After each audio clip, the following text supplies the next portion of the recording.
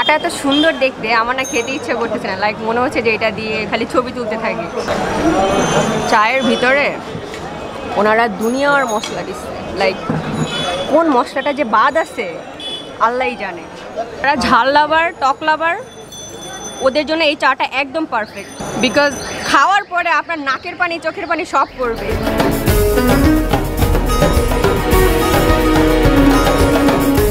আসসালামু আলাইকুম everyone. Hey foodie people I hope you all are fit and fine so guys আজকে আমি চলে এসেছি তালতলাতে সিলেট বিখ্যাত সাত রঙের চা ট্রাই করার জন্য।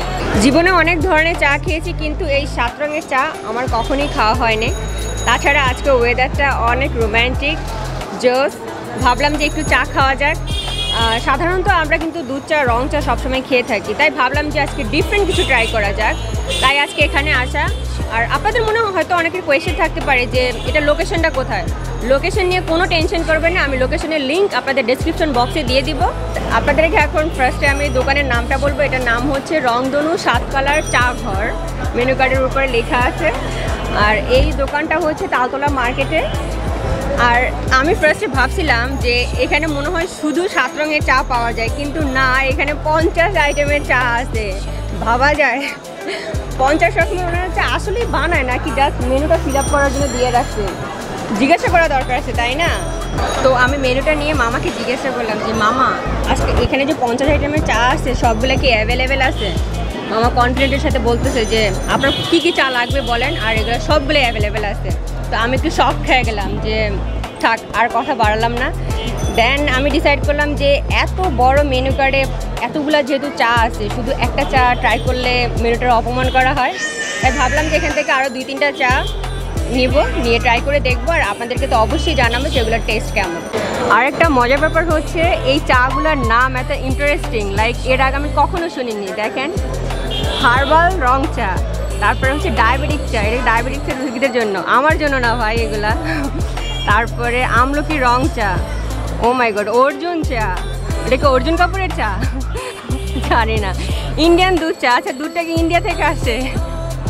তো ফাইনালি আমি আমার অর্ডারটা করে ফেলেছি, তো আমি তিনটা চা আজকে এখান থেকে অর্ডার করেছি। একটা হচ্ছে সাত রঙের চা, আর সেকেন্ড যে চাটা অর্ডার করেছি, এটা হচ্ছে ইন্ডিয়ান দুধ চা। এটার প্রাইস হচ্ছে পঞ্চাশ টাকা। আর আরেকটা চা অর্ডার করেছি, এটা কই কই কই লিস্টে কই? ও, টক জল মিষ্টি চা, এটার প্রাইস হচ্ছে পঁচিশ টাকা। ও মা গো, সাতশো রকমের চায়ের দাম আশি টাকা। আমি এক্সাইটমেন্টের ঠেলায় কতগুলো চা অর্ডার দিয়ে বসছি। প্রাইসের দিকে আমার খেয়ালই ছিল না। চা খেয়ে আজকে আমি ফতুর হয়ে যাব। গরিব হওয়া কেউ আমাকে আটকাতে পারবে না। শিওর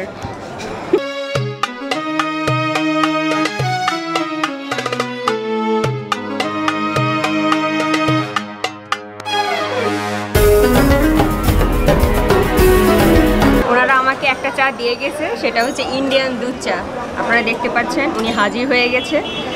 ওনারা মাটির কাপে চাটা সার্ভ করে দিছে। উপরে দেখতে পাচ্ছি অনেক মশলা, গুঁড়া, জানি না কিসের মশলা। সুন্দর একটা ঘ্রাণ আসতেছে চা থেকে, তো আগে ট্রাই করে দেখি। আর কোয়ান্টিটি আমার কাছে একটু লেস লাগতেছে চায়ের দামটা অনেক বেশি। সো ট্রাই করে দেখি আগে। স্বাদ ঠিক থাকলে দামটা একটু কনসিডার করাই যাবে, তাই না?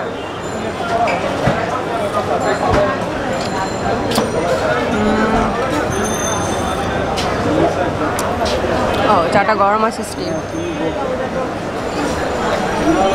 চায়ের ভিতরে ওনারা দুনিয়ার মশলা দিচ্ছে। লাইক কোন মশলাটা যে বাদ আছে, আল্লাহই জানে।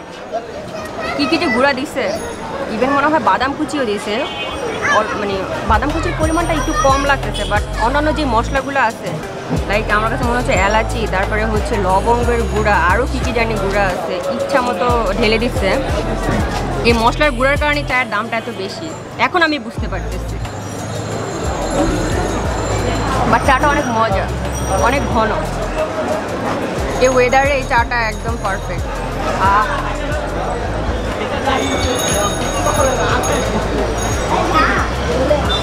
আপনারা চিন্তা করতেছেন, আমি চাটা কোন জায়গায় বসে খাচ্ছি? আকাশটা খোলা, আকাশ পাশে বসে বসে চা খাচ্ছি। তো আমার আরেকটা চা অলরেডি চলে এসেছে, এটা হচ্ছে টক ঝাল মিষ্টি চা।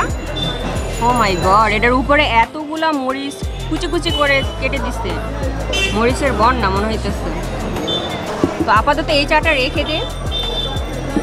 আচ্ছা এই চাটা আরেকটু খাই। বললাম না, চাটা চাটা অনেক মশলাদার, অনেক ঘন। আর হচ্ছে অল্প একটু বাদাম কুচি দিচ্ছে যে সব মিলে ফ্লেভারটা অনেক ভালো। বাট আরেকটু মশলা দিলে আমি না ভুলেই যেতাম যে এটা চা না অন্য কিছু। বিকজ একটা জিনিসকে আপনি বেশি কাস্টমাইজ করতে গেলে দেখা যায় যে ওইটার র ফ্লেভারটাই হারিয়ে যায়। তো চায়ের ক্ষেত্রেও সেম হইতো, আরেকটু মশলা ইউজ করলে। একদম চায়ের গন্ধটাই থাকতো না। এটা রেখে দিই।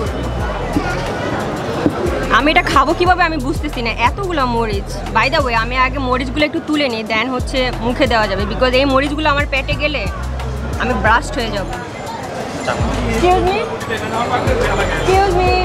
চামচ দিয়ে যাও চামচ দিয়ে যাও দুনিয়ার মরিচ দিয়ে রাখছে। আমাকে মারার প্ল্যান হচ্ছে এখানে।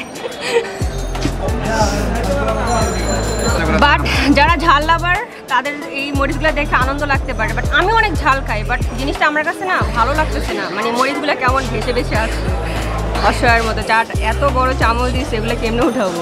এই চামচের থেকে না মরিচগুলো আরও বড় বড়। তো দেখতে পাচ্ছেন যে আমার মরিচ তোলার কাজটা শেষ। তো এখন আমি চাটা ট্রাই করব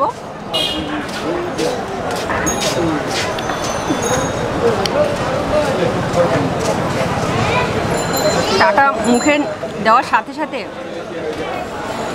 একটা ঝাল গন্ধ পুরো ধপ করে নাকে লাগছে।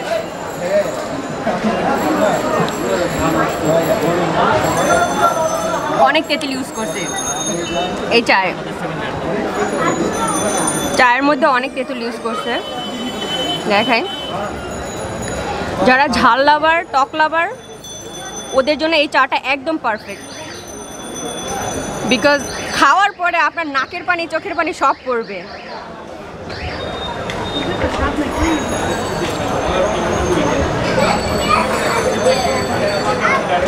এটা বেসিক্যালি চা না আর কারণ আমি চায়ের কোনো ফ্লেভারই পাচ্ছি না জাস্ট মনে হচ্ছে তেঁতুল আর মরিচের একটা পানি খাইতেছি, গরম পানি। দ্যাটস ইট আর কিছুই না। চায়ের কোনো মানে নামগন্ধই নাই। খেতে অনেকটা ফুচকা টকের মতো।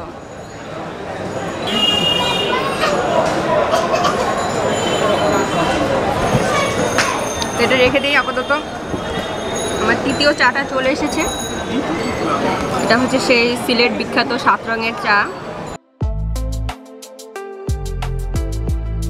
ফাইনালি আমার সেই সাত রঙের চা চলে এসেছে। তো আপনারা দেখতে পাচ্ছেন যে এখানে ষাটটা লেয়ার আছে। এটা সিলেটে অনেক বিখ্যাত। মানুষ নাকি সিলেটে গেলে এটা ট্রাই করে মাস্ট তো এখন তো আর সিলেট যাওয়ার সুযোগ নেই, তাই ওই যে কথা আছে না, কি বলে জানি দুধের স্বাদ ঘোলে মেটানোর মতো অবস্থা আমার আর কি। খাওয়া শুরু করি। চাটা এত সুন্দর দেখতে, আমার না খেতে ইচ্ছে করতেছে না। লাইক মনে হচ্ছে যে এটা দিয়ে খালি ছবি তুলতে থাকি।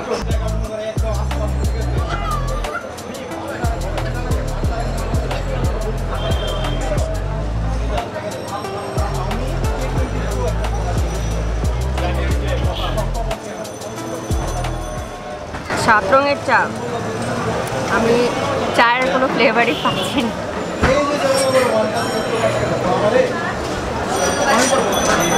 এখানে কি সাত মানে সাতটা চা মেবি বিকজ একটু দুধের লেয়ার আছে, চার লেয়ার আছে কফিও দিছে, হালকা পাচ্ছি বাট উপরে যে চাটা আছে, এটা থেকে কোনো গন্ধই পাচ্ছি পাইতেছি না।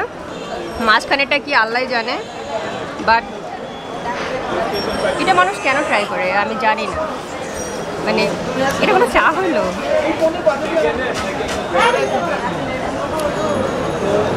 আমি খালি কফির গন্ধ পাইতেছি ট্রাস্ট মি আমি কফির জাস্ট স্মেল পাইতেছি আর কিছুই না। চা না অ্যাকচুয়ালি কফি আর জাস্ট সাতটা লেয়ার নাথিং আপনাদের যদি কারও মনে কোয়েশ্চেন থাকতে পারে যে আপু বলছে যে হ্যাঁ এটা চায়ের কোনো স্মেল নাই বা এটা তেমনটা টেস্টি না, এখানে এসে ট্রাই করে দেন হচ্ছে বুঝতে পারবেন যে অ্যাকচুয়ালি আমি কি বলছি। এটুকু রেখে দেই, কারণ আমার ছোটো ভাই একটু বাসটা খাক আর একটু। দেখতে দেখতে ভিডিও শেষ পর্যায়ে চলে এসেছি, তো আপনারা তো দেখলেনই আমার চা খাওয়া শেষ।